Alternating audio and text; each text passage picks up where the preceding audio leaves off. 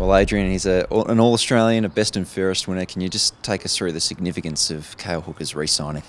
Yeah, look, it's a great day for the club. Obviously, Cale was a, a free agent, so um, being unrestricted, he had the, the ability to, to move to the club of his choice. But uh, after you know a lot of discussions with him and his management, uh, it's great to oh, well to see that he's staying with us, and it's just a great feel for everyone at the club.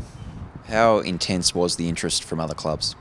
Oh, our understanding uh, and we're removed from that process. But our understanding was that there was a, a number of clubs where our understanding also is that you know he's knocked back a, a, some significant offers to want to be part of our future.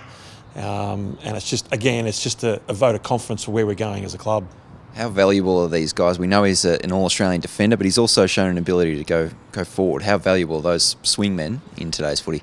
And I think that's why there was such a, a, high level of interest in him. I think that you know there's not many you know key position players of that quality in, in the game at the moment. And when you've got Michael Hurley and you've got uh, Cale Hooker, all Australian uh, spine players, and, and, we're hopefully getting both of them back next year, uh, it's exciting times for the club. Is that why it was a five-year deal? Yes, certainly. I think that in his case, look, the market determined you know what the contract was in the end. You know, market value suggests that he was at a certain level that we had to meet to, to get, retain his services. Um, and look, I think that what we've seen, particularly over the last couple of years, with guys like Bob Murphy and you know, Gibson and Hodge and these sort of guys, they're all 31, 32, 33 years of age, Riewoldt, and they're all playing good footy. And I think with the advent of sports science um, and, you know, just the, the, the improvement in, in, technology, we're seeing that these guys are actually, you know, lasting on the park a hell of a lot longer these days. So there's no reason why he's such a diligent trainer, hard worker, that he can't, you know, play until his mid 30s. So we've heard now from Heath Hocking recommitting, Travis Colyer, and of course today Cale Hooker. Where does it sit with the other guys?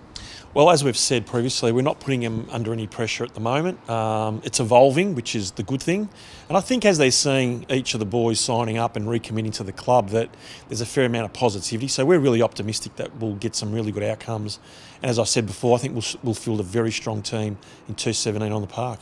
Certainly a very exciting day for the club. Adrian, thanks a lot for your time, mate. Appreciate it. Thanks a lot.